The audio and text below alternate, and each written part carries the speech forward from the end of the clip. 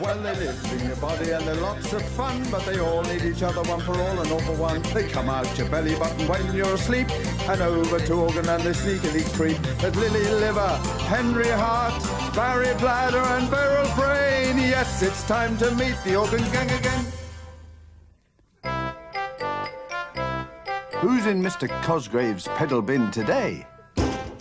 Why, it's Henry Heart. Hello, Henry. I hear you had your friends round to tea today. And did everything go to plan? Oh. Well, why don't we tell everyone about it?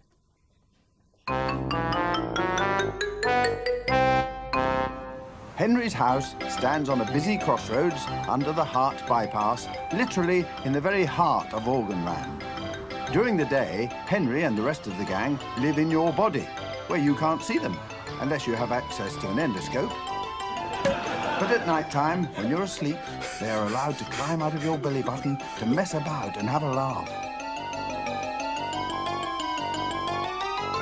There's Henry with two of his pals. That's Beryl Brain. She's terribly clever, though can be a bit boring sometimes. Where's that naughty Barry Bladder? she asked.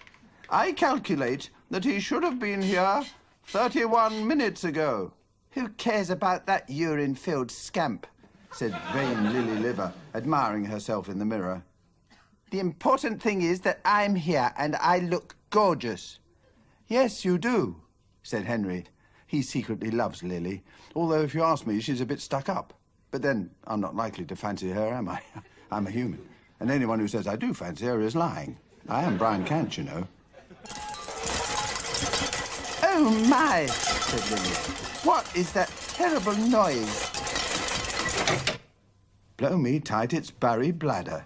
Barry, shouted Henry. What is it? Why are you making all this noise when I invited you to dinner? To dinner? said Barry. Oh, I thought you said you were inviting me to make a din. Uh. My calculations show that that is the worst joke ever to be broadcast on TV. Oh, don't worry. I've got plenty worse ones where that comes from. Poor old Barry. He is a dafty. anyway, Barry giggled, I did bring you this big bottle of fizzy pop. But, uh, sorry, I drank it all on the way. Uh-oh. Excuse me, I'm just off to the toilet. Ha ha, what a happy crew.